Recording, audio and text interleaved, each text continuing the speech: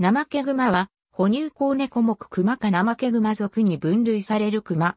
本種のみでナマケグマ属を構成する。体長140から190センチメートル。お長10から12.5センチメートル。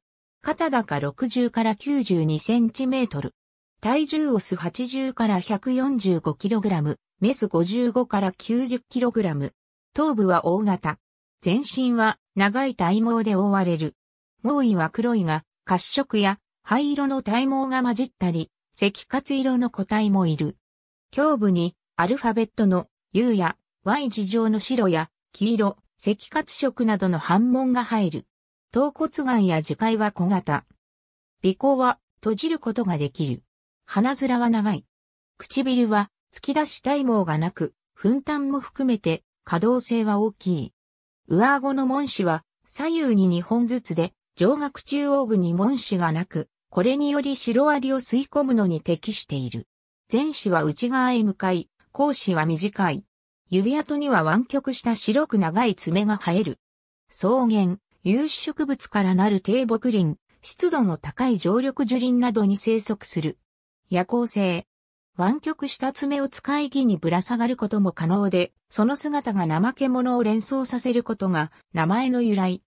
食性は雑食で、主にシロアリを食べるが、昆虫、鳥類の卵、動物の死骸、花、果実、蜂蜜なども食べる。シロアリは唇と舌をすぼめて、ゴミを吹き飛ばしてから吸い込んで食べる。繁殖形態は耐性。繁殖期はインド北部の個体群は7月だが、インド南部の個体群は周年繁殖する。妊娠期間は6から7ヶ月。地中の巣穴で1回に1から3頭の幼獣を産む。幼獣は生後3ヶ月は母親と一緒に巣穴に引きこもる。幼獣は生後1年6ヶ月マイナス3年は母親と一緒に生活し、幼獣は母親の背中につかまって移動する。胆のが薬用になると信じられている。インドではオスの性器が美薬に骨や歯、爪が魔除けになると信じられている。大道芸用に幼獣が罠で取られることもある。農作物に被害をもたらし、人を襲うこともある。オリッサ州では1990の1995年度に66人が、マディアプラデーシュ州では1989の1994年度に607人が本種によって死亡している。他方で、人里に降りてきて人間に懐きペット化した例も報告されている。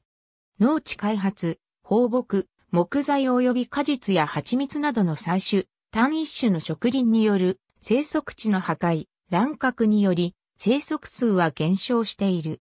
インドでは法的に保護の対象とされ、自己防衛や防除目的以外の狩猟、部位の取引及び輸出が禁止されている。また、インドでは熊使いによって大道芸を仕込ませるといった動きもあったが、1972年の研究と1973年の研究では数の減少が見られている。日本では1965年に野毛山動物園が飼育化繁殖に成功した。2015年4月に札幌市園山動物園で飼育されている個体が死んだことにより日本に個体は現存しない。ありがとうございます。